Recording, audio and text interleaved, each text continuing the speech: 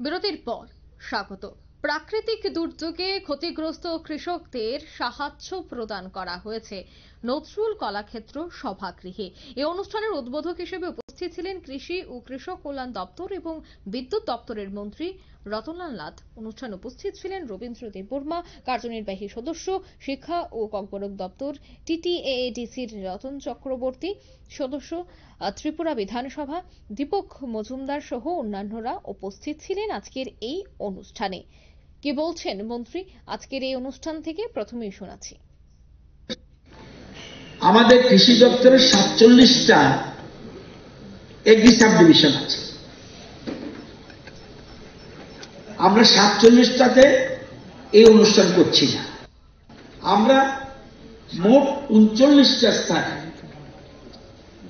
এগারো হাজার কৃষকদের নিয়ে আরও বেশি হবে, কারণ এখানে আজকে আমাদের লোক বেশি চলে এসেছে, আমরা ভালো বড় হল পাইনি। এগারো হাজার কৃষকদের সামনে রেখে গত নভেম্বর মাসে যে মিদিলি যেটা এখন আপনারা জানেন, সাইক্লোন হলে একটা নাম হয়, কোনটা রেমাল, কোনটা মিদিলি এরকম নাম দেয়। মিদিলিতে সাতাশ, আঠাশ নভেম্বর যে সাইক্লোন হয়েছিল, ক্ষতিগ্রস্ত হয়েছিল।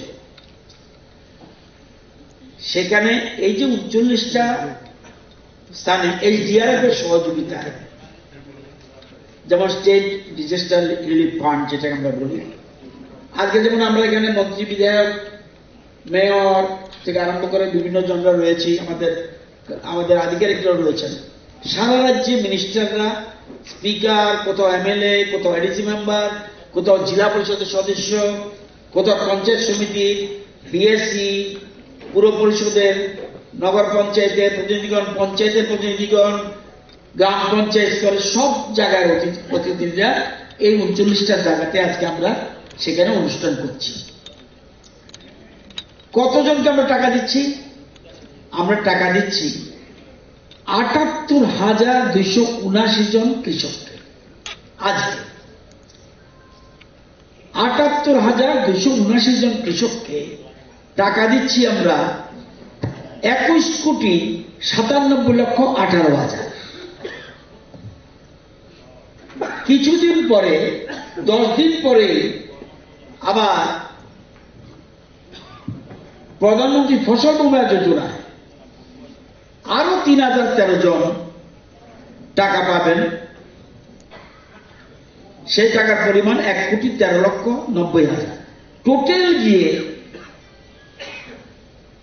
এই সংখ্যাটা হবে একুশ, একাশি হাজার দুইশো বিরানব্বই জন, অর্থাৎ তেইশ কোটি এগারো লক্ষ আট হাজার।